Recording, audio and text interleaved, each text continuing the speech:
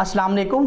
S M news के साथ मैं हूँ Muqaddar Raza. S M news studio में खुश आमदीद। खबरों का सिलसिला बढ़ाते हुए खबशान करते हैं बवाना से।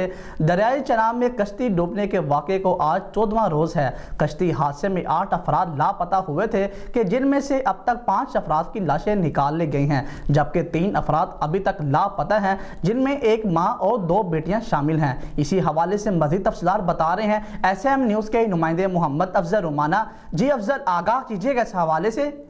बाना दरिया चंदाब में कश्ती डूबने के वाक़े को आज चौदवा रोज़ है। कश्ती हादसे में आठ अफराद लापता हुए थे, जिनमें से अब तक पाँच अफराद की लाशें निकाल ली गई हैं, जबकि तीन अफराद अभी तक लापता है।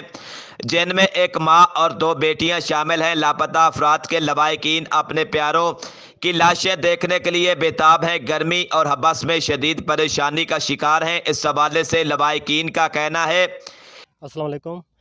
पहले तीन चार दिन ऑपरेशन ठीक हुआ है एसी भी आता रहा है, सब सब आए हैं। लेकिन चार पाँच दिन के बाद वो बिल्कुल सुस्त हो गए हैं। एक रेस्क्यू की, एक रेस्क्यू की टीम है, वो जाते हैं, फिर वो सर्च करते हैं, वापस आ जाते हैं। तो हम इस ऑपरेशन से एक टीम से मुतमिन नहीं है। लिहाजा मैं वज़ी अला से वो जितने सीनियर हैं, उनसे मैं रिक्वेस्ट करता हूँ कि वो आएँ और इस चीज़ का नोटिस लें। टीमें ज़्यादा लगाएँ ताकि हमारे जो लवाकिन हैं, वो हमें मिल जाएँ, क्योंकि हम इधर धूप में बैठे हैं, अपनी मदद आपके तहत। हमारे उधर आते हैं, अफसोस के लिए हम इधर होते हैं, वो फिर इधर आते हैं।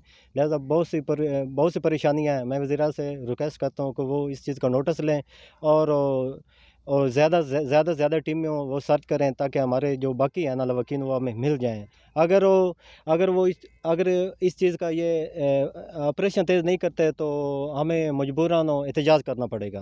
कि पहले तीन चार दिन ऑपरेशन बेहतर तरीके से जारी रहा, इंतज़ामी अफसरान यहाँ पर आते रहे, मगर जैसे ही वक्त गुजरता गया, ऑपरेशन सोसरवी का शिकार होता गया, वो इस सख्त गर्मी और हबास में खुले आसमान तले अपनी मदद आपके तहत बैठने पर मजबूर हैं। इनके प्यारों के अफसोस के लिए यहाँ पर लोग दरिया पर आ रहे हैं। अगर इनको बाकी तीन अफराद किसी हालत में मिल जाएँ तो वो सुकून से घर बैठ सकते हैं। लवाकिन का मजीद कहना था, इनके लापता अफराद नहीं मिलते सर्च ऑपरेशन में तेज़ी नहीं आती तो वो एहतजाज करने पर मजबूर हो जाएँगे। कैमरा मैन मोहम्मद आरिफ डक्कू के साथ मोहम्मद अफजर रवाना, बाना।